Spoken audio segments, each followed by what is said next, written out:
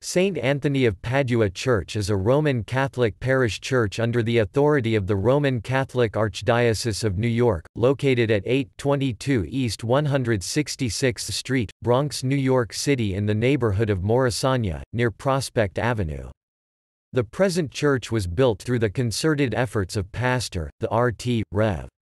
Joseph Francis Rummel, who was elevated as the bishop of the Diocese of Omaha, Nebraska and in that capacity consecrated the church, before being elevated to Archbishop of the Archdiocese of New Orleans.